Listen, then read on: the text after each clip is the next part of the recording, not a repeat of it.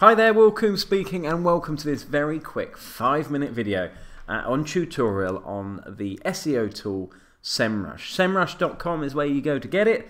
Uh, it's an online tool uh, and basically uh, explores uh, any given domain that you give it um, and uh, gives us some key information about the domain, gives us a great overview of how the domain's doing with regard to search engine optimization, and also gives you a heads up on your competition and gives a really good insight into your uh, competitors out there for the keywords that you're going after.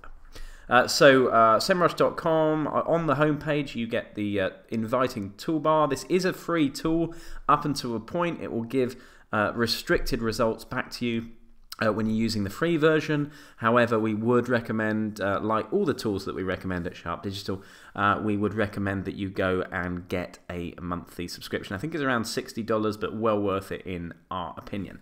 So, uh, just going to put a, uh, a random uh, website name in there, architectureforlondon.com. We're going to select the UK um, version of Google. Obviously, if the, you're in the US, click US, and it's also got the German and French versions as well amongst other countries.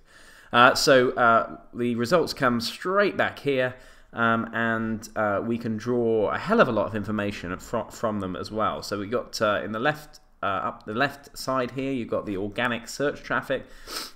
Uh, that will uh, usually tell you your your monthly uh, search or this month's monthly search and tell you uh, if the traffic is, is trending up or trending down. Um, and as I said, that's organic as well. It, it gives a little bit of backlink information.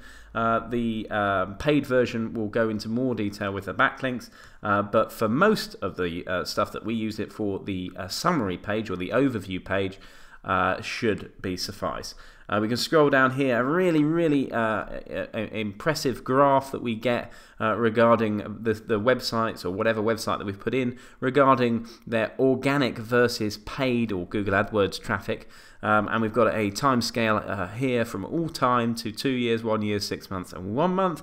We'll click all time um, and we can see uh, what's going on with this domain's organic traffic. You know, July, July 2014, there was a big rise, up we go through 2014. And then this is interesting, a massive drop off of organic traffic, and we can only uh, um, come to the conclusion that that um, is a result of a Google algorithmic penalty, um, and there's uh, many uh, um, uh, penalty checkers out there that you can overlay this graph onto to work out which penalty it is. Uh, so late 2014, there was evidently a, a, Google algorithmic penalty that was released that um, uh, definitely affected this website.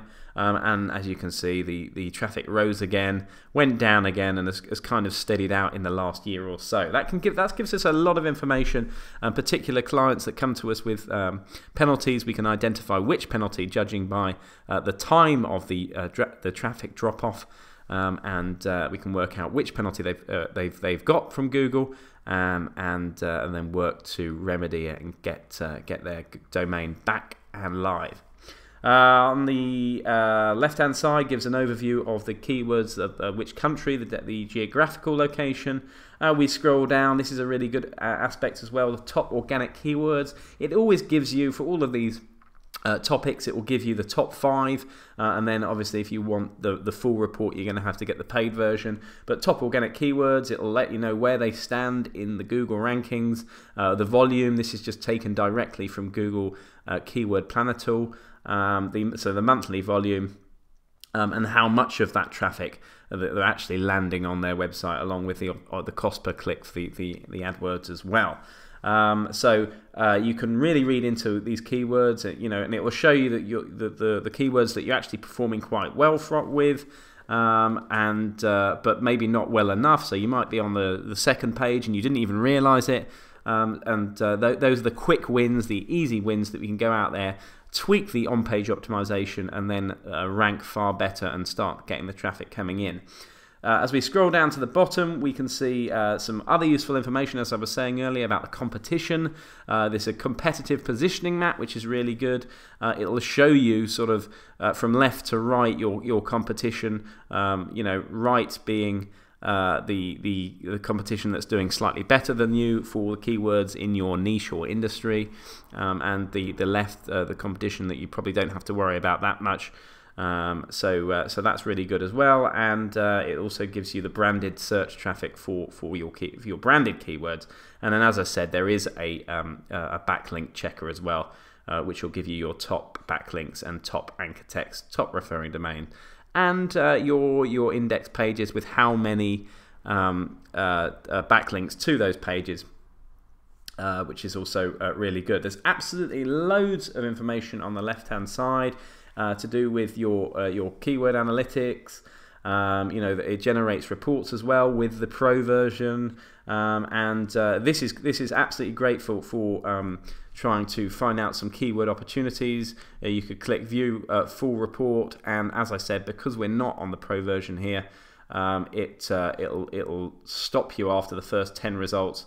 Uh, but but for, for example, London architecture, architecture, a thousand uh, monthly searches. Uh, we know that dom this domain is doing well anyway. It's number 17, so on page two, it wouldn't take that uh, that much for you know a good SEO uh, to get them onto page one for this key, uh, keyword and, and take advantage of that massive monthly search. So I hope that's been of use to you. That's how you use SEMrush. Definitely use it. It's a great tool, one of the top five tools that we use here at Sharpe Digital. And uh, good luck, good luck crawling sites and having a look at your competition.